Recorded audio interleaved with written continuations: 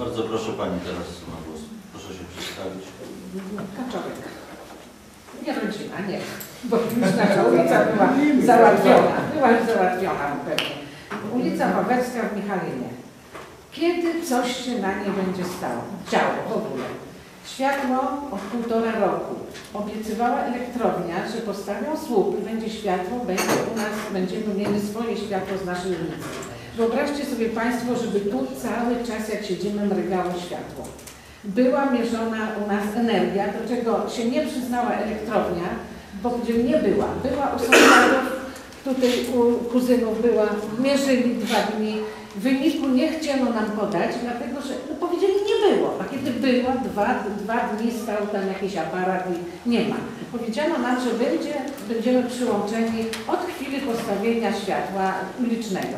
Jest, teraz elektrownia się tłumaczy, że pan burmistrz nie dał zgody na postawienie słupów na nasze oświetlenie. Jest, czy, to, czy wystąpili do pana burmistrza o postawienie słupów? Proszę Państwa, nie zdarzyło się jeszcze w historii Rzeszowa, aby miasto nie wydało zgody elektronicznej. No więc to od razu wiedziałam, że pan dyrektor kłamie. Ponadto dał mnie umowę, dał mnie warunki, jakie mam spełnić do przyłączenia, że będę miała światło ze słupa, które oświetla ulicę. Ja wydałam pieniądze, warunki spełniłam, podpisane, cisza, nie ma, nic się nie dzieje. Ulica robi się ulicę samorządową. To raz. Drugie, czy kanalizacja, czy woda tu u nas kiedykolwiek będzie? Na naszej ulicy? I kiedy? Można wiedzieć kiedy? Proszę Pani, ja mogę odpowiedzieć na pytanie kiedy, jeżeli ja wiem.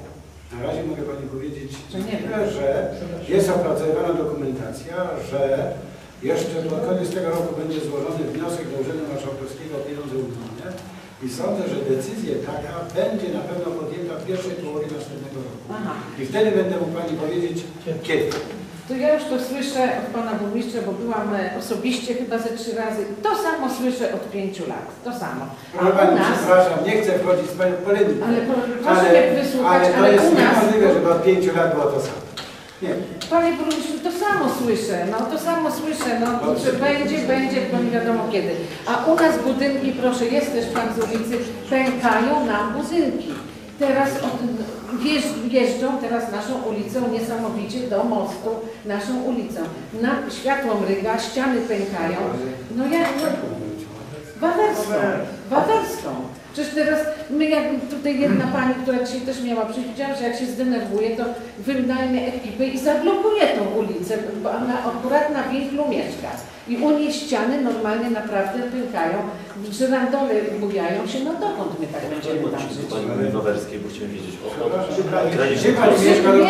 do przygranicznej. Od cmentarza do granicy. No jest tragicznie, dzieci nam się budzą, jadą te, te samochody ciężarowe, tiry jeżdżą. Ale chwileczkę, z tego co wiem, to oświetlenie na tym, tele- na tym odcinku Od jest. półtora roku jest, tak. I, i pan y, dyrektor Więc o jakie pozwolenie na budowę chodzi oświetlenia?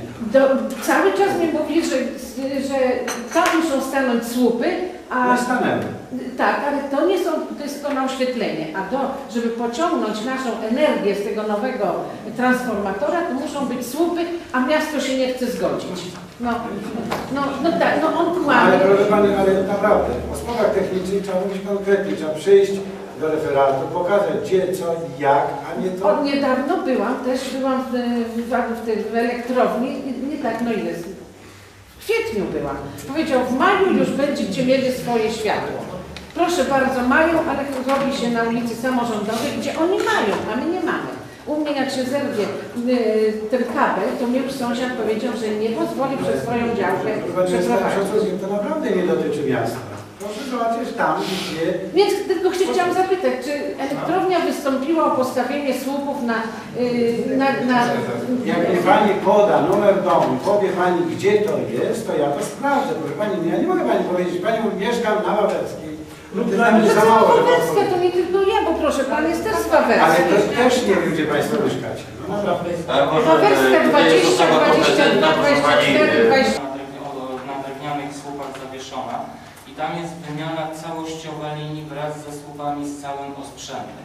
Natomiast na ulicy Wawerskiej e, tam stoi transformator i od tego transformatora miasto na własny koszt pociągnęło linię oświetle, oświetleniową tej ulicy.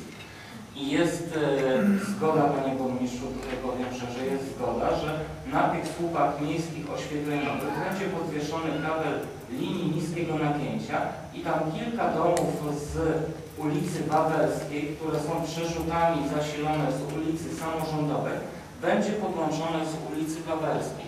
Tylko najpierw trzeba zrobić ulicę Wawelską, żeby można później było prowadzić samorządową, żeby później można było y, do, dokonać tych, przerzutów, które przechodzą przez y, sąsiedzkie działy.